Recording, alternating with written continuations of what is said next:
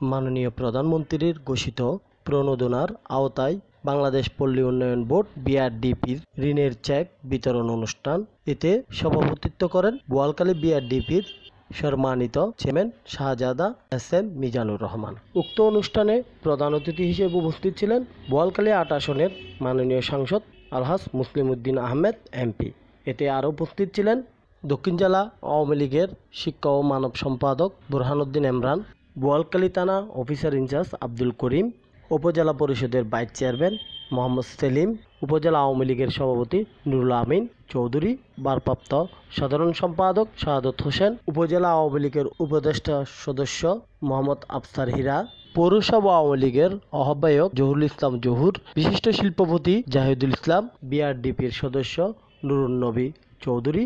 আরও উপস্থিত ছিলেন কদুরকিল ইউনিয়ন পরিষদের চেয়ারম্যান শফিউল আলম শেভু। পোপাদিয়া ইউনিয়ন পরিষদের চেয়ারম্যান জসিমউদ্দিন।